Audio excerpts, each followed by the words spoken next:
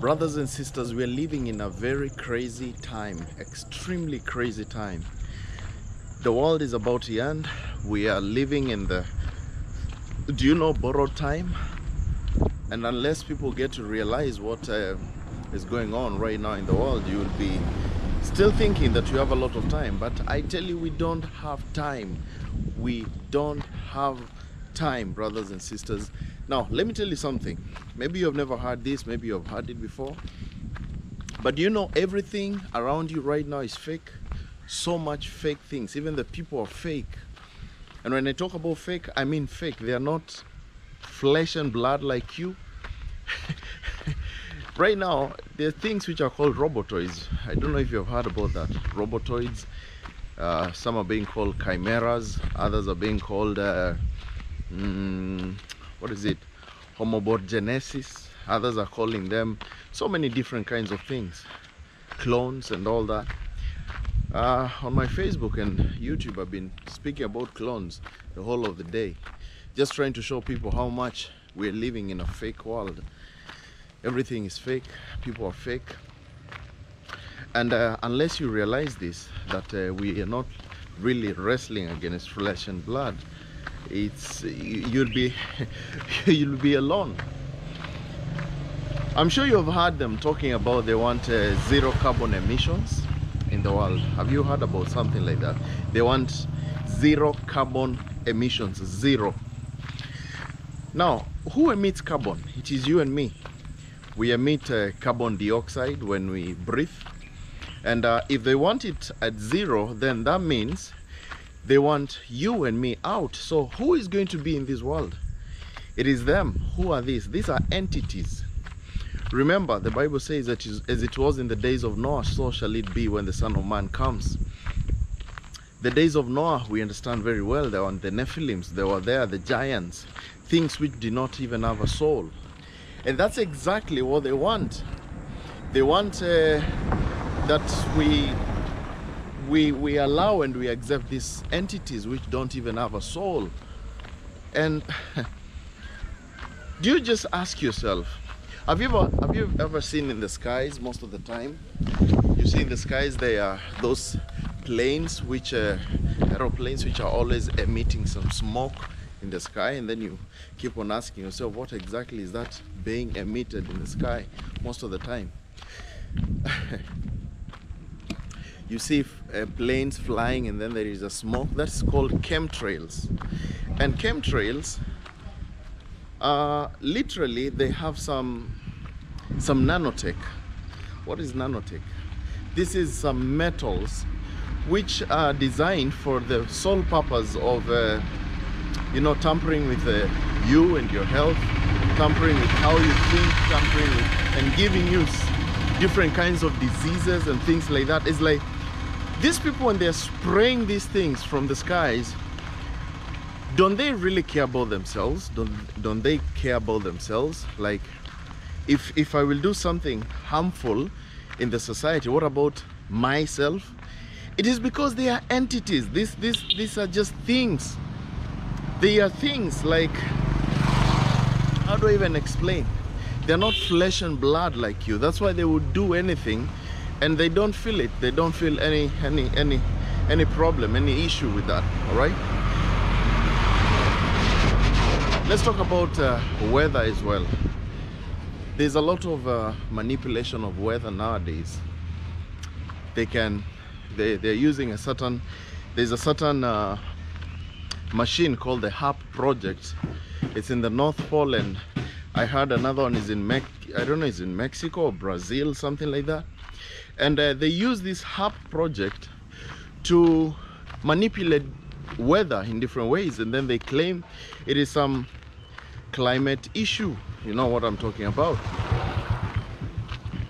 They can cause tsunami they can cause rain they can cause drought in some places the way they want. And then they will say oh there's some you know the world is in a crisis and all this is happening and voila go and go and go and study what is HAARP H uh, A uh, A A R P yes something like that go and read about that And apart from that, something else is happening. They're controlling all the industries in the world. Don't think that you can work so hard and become a millionaire. You're lying to yourself. It's really very hard.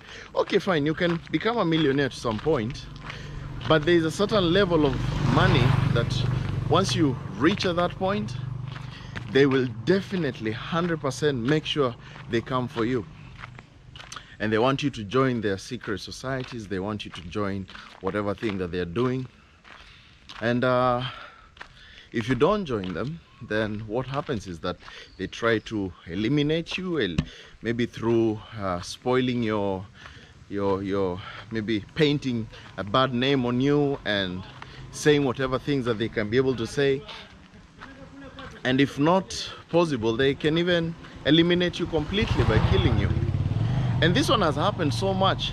Just look at so many presidents who refuse the that this thing agenda. You know what I'm talking about.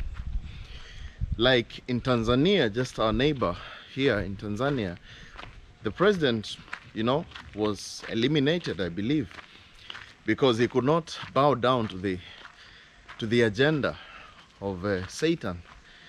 Think about the president in Madagascar, he missed death by a wink. He was he was being assassinated, something like that. Look at the president of Haiti. He refused the same thing. He was he was assassinated.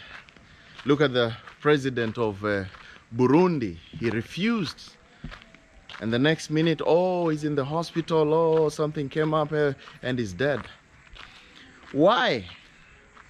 It is because you're living in crazy, evil world. And these are the days that people need to open up their mind and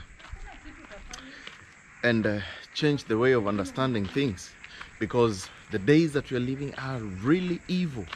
They're really evil. Really really evil. And until you wake up to this come you're going to be fooled my friends. Right now the only thing which can save you is not yourself is not anything that you have is not about the money that you have is not about who you know where or things like that. It is about knowing jesus christ a righteous man can fall some several times. You can fall and fall and fall. So many things can happen and you find yourself you're you're in the dirt. But that is not the end of the world. If you have christ jesus in you he's going to do it for you. He's going to make ends meet for you. He's going to help you. Sometimes i try to talk to god and tell him god please look at me look at my life look at the things that i do look at everything that i'm i'm planning but i don't want anything to go against your will because if i go against the will of god then things are not going to work out the way i'm thinking but whenever you place yourself uh, in the will of God, then He's going to do it for you. Let me start going back. If you place yourself in the will of God, He's going to do it for you. He's going to change you. He's going to help you out. He's going to stand with you. He says, Seek me first. Seek the kingdom of God first, and the rest shall be added unto you. Sometimes we fail, even in our lives, even in our relationships and in our jobs, because we are seeking other things. We're not seeking the kingdom of God first. Jesus said that you being evil, if you know how to give good gifts unto your children, how much more will your Father in heaven give unto those, give the Holy Spirit unto those who believe, to those who ask? How much more? The Father in heaven, he's, He has everything. He's got everything. He can give it to you. But you, you keep on saying, ah, I don't want this. I, I just want to work in my way. God is very gracious to us. He loves us so much. He cares for us so much. And He knows our weaknesses. He knows our weaknesses. And He understands our troubles. He understands who we are from the heart. And all that God is seeking is the sincerity of your heart. The sincerity of your heart. He's not looking for a perfect person. Remember, the Bible says God does not choose the, the strong. He chooses the weak. He chooses the weak. If you're weak, then you're the right candidate for who God is going to use. He uses the weak to shame the strong. I don't know if you're getting my point. God uses the weak to shame the strong. And uh, I want to tell you this moment that you don't have to fear anything. If you're in Christ Jesus, don't fear anything. But if you're not in Christ Jesus, man, there's a lot to fear. There's extremely a lot to fear. You better start fearing because it'll be so bad to a point that you, you'll not be able to comprehend what's going on. The things which are coming upon the world are going to terrify people. They're going to terrify people so much that you'll not be able to understand what is going on. It's going to be so much terrible that people will run to and fro, up and down, looking for answers, but they'll not be able to get them. People will be selling their houses, places, and things, whatever they have, and they'll be saying, Please just tell me what's going on. They'll be saying exactly that.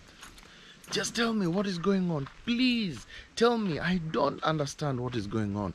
Please, would you come to my rescue? Just tell me what is going on. I need to understand. People will be selling their cars and it's coming terrible times. Terrible times are coming. But if you're in Christ Jesus, then you're okay. You're okay. There is nothing, totally nothing to worry about. Brothers and sisters, believe the gospel. Believe the gospel. The gospel is very simple. It's just about understanding how that Christ died for our sins, was buried and rose again the third day according to the scriptures. That's the gospel.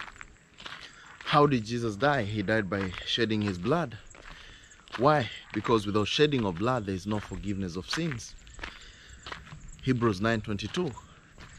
So why is the blood important?